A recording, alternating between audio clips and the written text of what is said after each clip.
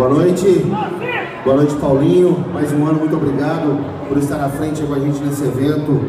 Pessoal do Bloco da Vaca, tanto aos organizadores quanto aos membros de coração, muito obrigado mais um ano aí com a gente, abrindo né, as comemorações do nosso Carnatur.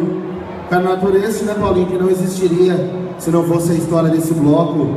Este ano comemorando 90 anos de história, fazer carnaval hoje na nossa região, no nosso país, é um pouco complicado.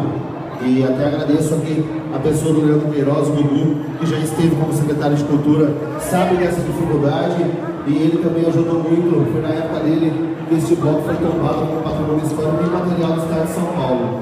E temos em Arthur Nogueira o segundo bloco de carnaval mais antigo do país. Então essa cultura é nossa, essa bandeira do Bloco da Vaca é de cada nogueirense e a gente tem sim que, que levantar ela com muito amor, com muito carinho e batalhar para o nosso carnaval continuar cada ano melhor. Isso não pode parar. Agradeço sim nosso prefeito Ivan Sansotti, que está à frente com a gente, mais um ano investindo, mais um ano permitindo que a gente faça uma festa bonita e uma festa segura para todos que vêm de outras cidades e principalmente o nosso nogueirense.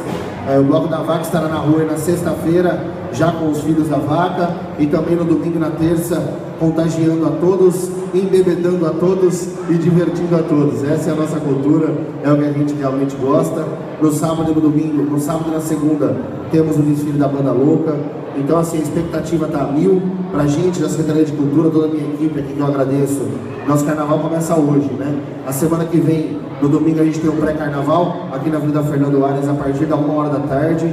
Então já é mais um evento. E aí na semana que vem a gente tem os cinco, cinco meses de carnaval aí, com muita coisa nova, muita coisa bacana. Espero que todos que estão nos acompanhando aí, agradeço a imprensa aqui presente, possam me prestigiar um carnaval gratuito, mas com investimento de festa particular. Posso dizer isso com toda certeza. Com certeza, Décio. Vamos aplaudir nosso secretário de Cultura. Obrigado, gente. Décio, a banda louca